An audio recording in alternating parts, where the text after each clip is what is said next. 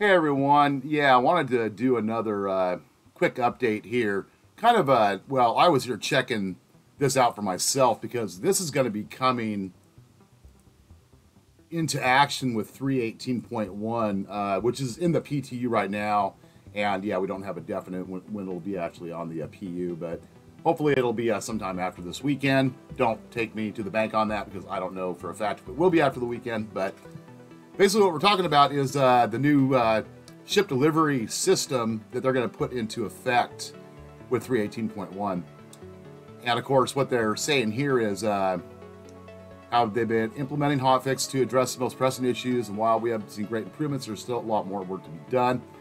One issue that's been negatively impacting our database is the large number of entitlement calls being made for player vehicles at initial startup.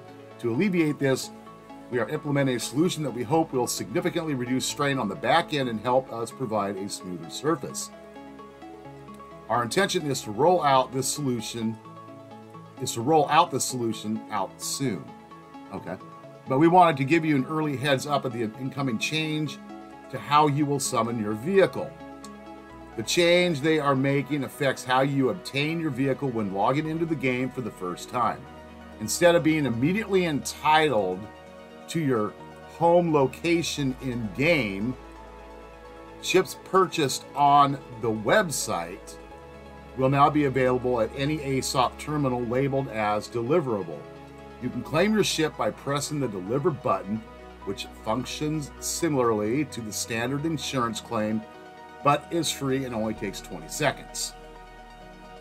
Hey, that's not bad. If it only takes 20 seconds and you're not having to sit there and pay money uh, to speed up an insurance claim, that's pretty good if it actually works the way uh, they want it to work.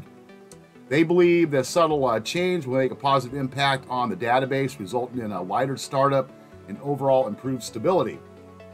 We'll continue to close, uh, closely monitor and work on additional solutions to further improve the service. Thank you for your patience and support. We look forward to seeing you in the verse.